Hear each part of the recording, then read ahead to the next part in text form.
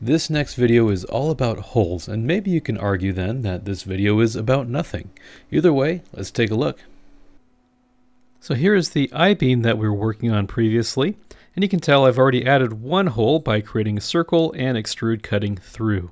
But let's talk about more robust ways to make holes here in Alibre. And to do that, we'll use the Hole tool. I'll start by selecting a face that I wish to put holes onto and then click the hole tool up here in the menu. And I get this tool that comes up that gives me an array of hole choices. I can use a simple hole, a counter bore, a counter drilled, counter sunk, and tapered. I'll start with a counter bored and we'll come down here and let's say that my maximum diameter I want for my hole is 2 inches at a depth of a quarter an overall depth of 0.35 and the smaller diameter being 1 inch. All I have to do is click to add these pre-configured holes. And I can say OK. Easy as that. It would have taken a lot more time to have made these holes in some other way. But we can also right click and edit if we wish to make changes. For instance, if I would like to change this into being a counter drilled? I certainly can. Or counter sunk or tapered.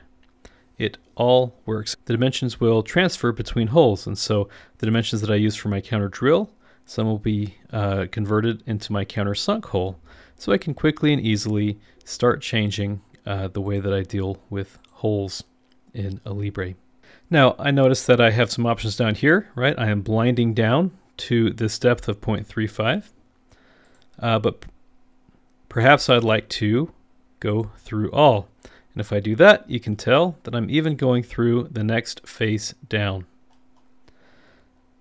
But likewise, I can say to limit geometry, and I can say I want to go down to this face. And there you can tell that we go through this face, but not through the next one. So those are ways that we can control our end conditions. But what if I want threads inside of this uh, smaller diameter? What do I do then? Well, I actually have this option to choose a thread series. Maybe I want isofine. And maybe I want M4 threads in there. Now that's a bit small, but as you can tell, we even have a cosmetic thread that goes along with it. Maybe we can uh, open this up to something more like M18 or M19. And there's our cosmetic thread. So we can easily add threads as well if we would like using this tool. And I can make this into a simple hole and just have a threaded tapped hole if that's what we prefer. You'll notice that something like a tapered hole does not have threads.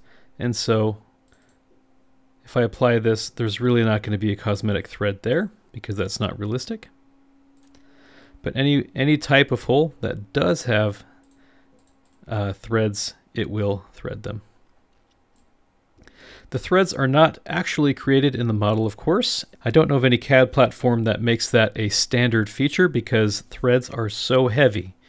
Uh, so it simply sizes it to the right size to be tapped for the threads that it represents. And then I can edit. And perhaps this is a very common hole for me to make among parts. I can go ahead and give this a preset. I can say whatever name I would like and create this as a preset and say OK. Now I can open up even another part. So here we've got the cube that we've been making fillets and chamfers on. Let's open the hole tool now. Notice I didn't select anything uh, before clicking on the hole tool. And it asked me for a start surface, so I'll click.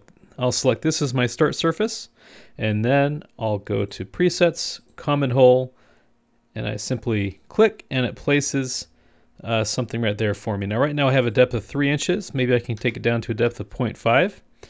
And I always have the option to overwrite my common hole. So now every subsequent common hole will have the uh, 0.5 depth instead or I can always delete a preset if I wish to do that. So that's how you work with holes in Alibre. Hopefully that was useful and we'll see you in the next video.